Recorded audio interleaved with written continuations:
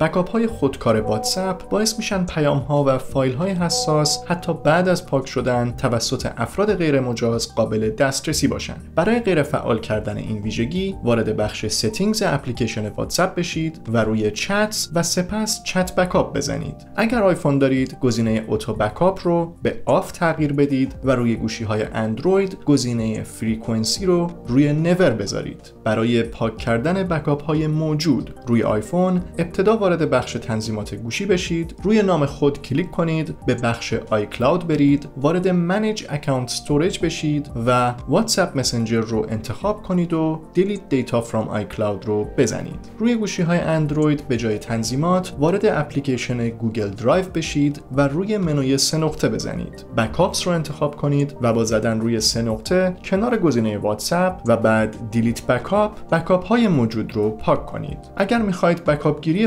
خودکار رو فعال نگه دارید پیشنهاد میشه داخل واتساپ از settings به قسمت چت بعد chat backup و end to end encrypted backup برید و با زدن روی turn on و بعد create password بکاپ های خود رو رمزگذاری کنید و امنیت فایل های خودتون رو افزایش بدید.